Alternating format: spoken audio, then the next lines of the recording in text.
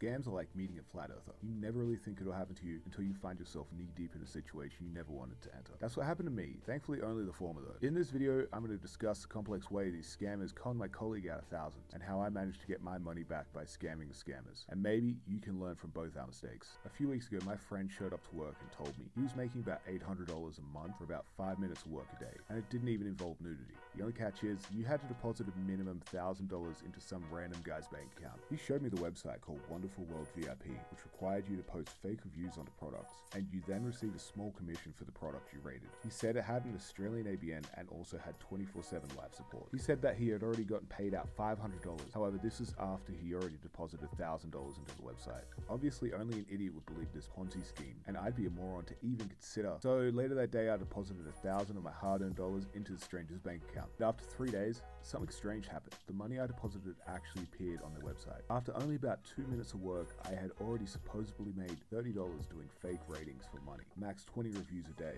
the first of many red flags. I was amazed. All four of my brain cells truly thought that I'd stumble across an untapped market. I started thinking about all the luxuries I could now afford. A premium fuel in my car, a tier 3 Poke sub, and a real doctor.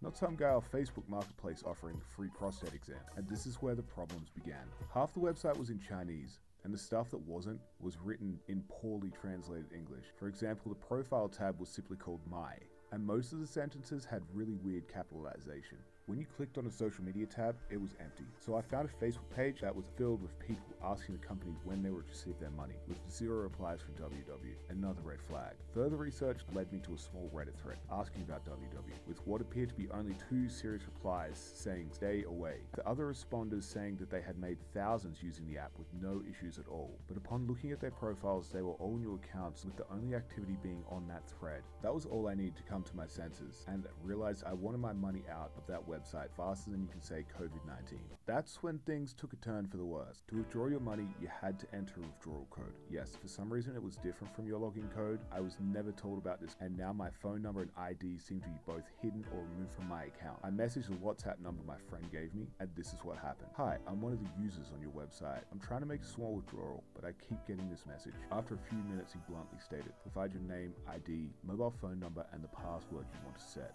in this chat or on your app. Send me here. Is it possible just for me to set it? Only I can change it please rest assured that our chat history is deleted once a day. It was looking more and more likely that I had just become another victim of internet fraud, and honestly the idea of giving a stranger my internet login password seemed sketchier than downloading Gram online. After a few days later, and once the self-hatred started subsiding, I came up with one last idea. I told them I was only withdrawing money for my daughter's fifth birthday, and I promised them that I'd send back five times what I originally put in once I received some goodwill from them. Obviously I was never going to do that, nor did I actually have a five year old daughter. Once I said the word, the guy instantly started giving me helpful advice on how to get my ID and withdraw the money. And thankfully, I had my rent paid on time. And less than a week later, the website disappeared without a trace. Sadly, my workmate had, at that point, invested a few thousand dollars in wonderfulworld.vip, and he will most likely never see that money again. It turns out the internet can agree on one thing, and it's never trust the internet. Thank you for watching.